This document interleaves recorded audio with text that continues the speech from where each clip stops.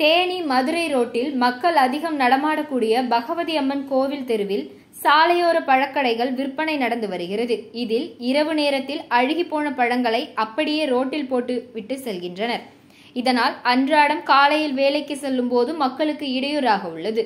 இதில் தேனி நகராட்சி நடவடிக்கை எடுக்கப்படுமா என கேள்வி எழுந்துள்ளது. அந்த இடத்தில் அழுகிப்போன பழங்களை சாக்கடை அருகே கொட்டுவதால் சாக்கடை கழிவுநீர் அடைப்பட்டு சாக்கடை நீர் வெளியேறி ரோட்டில் செல்கின்றன. பொதுமக்கள் நோய் தொற்று அபாயம் ஏற்படும் நிலையில் உள்ளது என சமூக ஆர்வலர்கள் பொதுமக்கள் புகார் தெரிவித்து வருகின்றனர்.